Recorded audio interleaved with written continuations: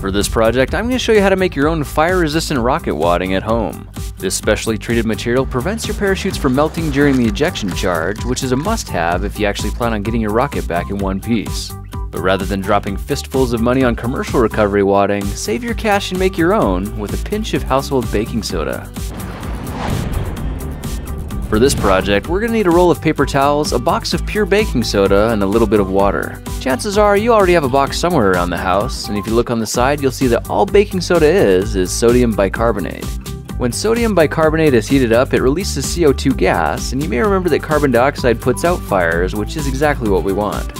Let's get busy making our fire retarding solution by adding 1 teaspoon of baking soda to a quarter cup of water. Give it a good stir for around 10 to 20 seconds, then just let it sit for a bit until everything settles down. When the water turns clear again, it'll be a super saturated solution and you might see a little white powder at the bottom of the glass. We don't need that, so carefully pour the clear liquid into another bowl slowly enough that it leaves the undissolved powder behind.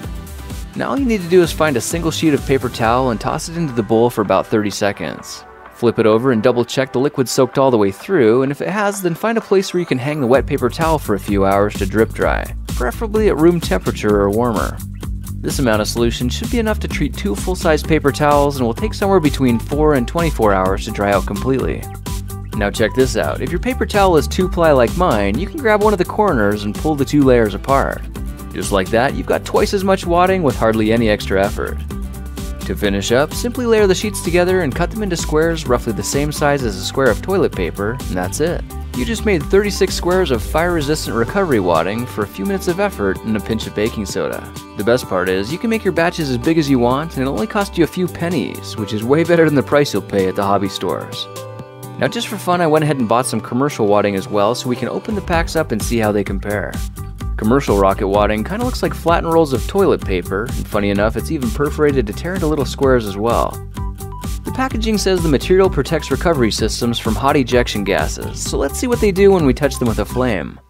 Surprisingly, the sheet actually catches fire and burns up in just a few seconds. Let's compare that to the makeshift wadding we just made with baking soda. You can see it scorches the fabric and turns it black as expected, but the tissue doesn't actually catch fire and won't sustain a flame. Instead, it just smolders slowly until all the wadding is spent or until the carbon dioxide chokes out the embers. Now, baking soda isn't the only option for rocket wadding. In fact, there are all kinds of other fire-resistant materials all around you perfect for the job.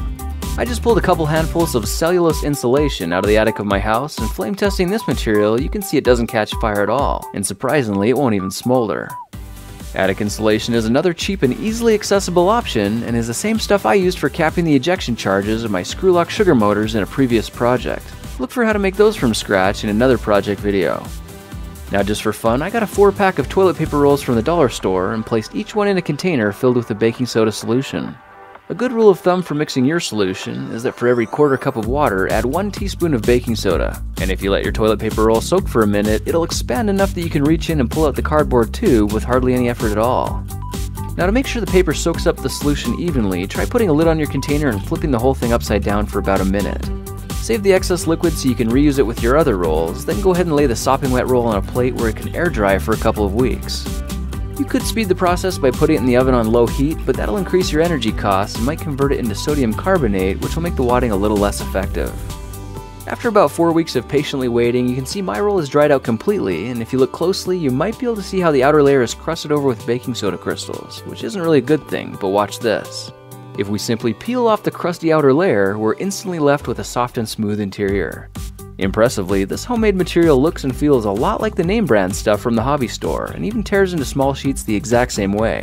The difference is, our homemade version seems to be a lot more resistant to open flames, and is only a fraction of a fraction of a fraction of the price. Now if you're planning to use homemade recovery wadding for the randomizer rocket made in another video, I recommend using 6 sheets of wadding per launch. Push the first 4 sheets into the rocket body one at a time, then wrap 2 more sheets around the bottom of the parachute bundle and nestle it gently on top of the others. Tuck any of the loose elastic cording into the nose cone, then push it into position on top of the rocket. Your recovery system is now protected and ready to spring into action, so it can safely bring your rocket back for another flight. And by the way, if you want to go green and help minimize your impact on the environment, try using a head of lettuce for parachute wadding instead. The moisture in lettuce leaves make them a surprisingly effective alternative, and the best part is, they're biodegradable. Well, now you know how to use ordinary household baking soda to make a bundle of flame-proof recovery wadding that's 300 times cheaper to make yourself. That's it for now. If you like this project, perhaps you like some of my others. Check them out at thekingofrandom.com. Hey guys, that's the end of this video, but it's not the end of the adventure. Click here to see the last project and click here to see the next. I've made over 100 project videos for you to check out and I'm still making new videos every five days. So click here to subscribe to my YouTube channel. It's free and if you update your YouTube notification settings, you can get an email every time I upload. In the meantime, here are a few other videos I recommend watching. They're all favorites for different reasons and you'll learn something new in every project. Thank you for watching, sharing, and supporting my videos and I'll see you in the next project video. I'll talk to you then.